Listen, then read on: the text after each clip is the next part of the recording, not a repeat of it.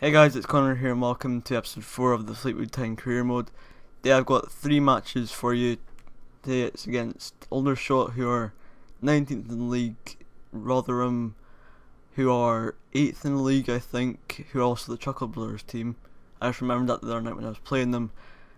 And Accrington Stanley, so we're just doing some squad checking at the moment before we go into the game. So our first goal comes from John Park and he goes into the box, cuts away from the defenders, bit off balance but he smashes it into the top corner of the net, which is a pretty nice goal.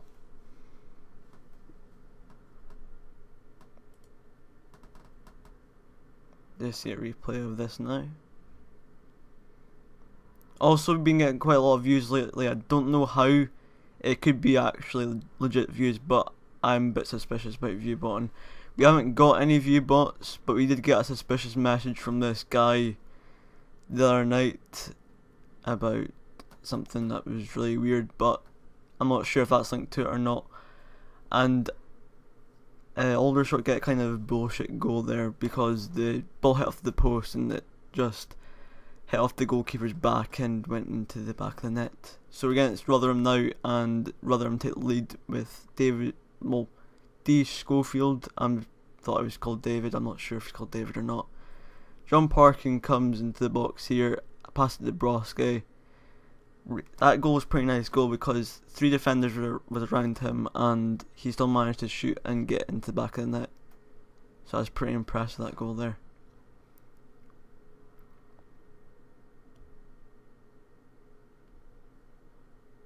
So it was 1 1 here. But Rotherham do take lead again through a defender, I think it is. He passes it to Taylor and just finesses it into the bottom corner. Was quite nice goal. Not sure if he's def centre defensive mid or a centre back defender. But we do manage to get the equaliser again through Ali. I'm gonna smash it in the bottom corner of the net. That's his like second goal of the club now also do have the squad report you at the end of the video, so I don't think I've done a squad report for the series yet, but I'll be coming every 3 to 4 episodes, because it's episode 4, so I'll probably make it every 4 episodes. And that's how, wait, no, we got a red card here. Uh, Barkhuizen just tackles really badly from behind, and gets a red card.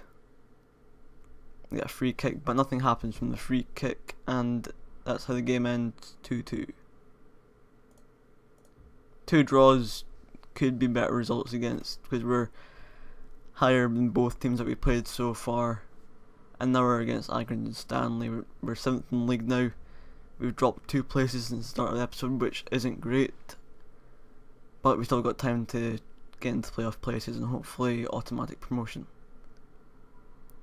So away from home again, oh, I was just going into the team management to see if my players were fit enough because got quite a lot of games in like very short time in this change formation as well to a four two two no five four five one attack because that's my ultimate team formation. And I was just seeing if that would work for me because it's, it's quite good for me at the moment. I'm using a Serie A team.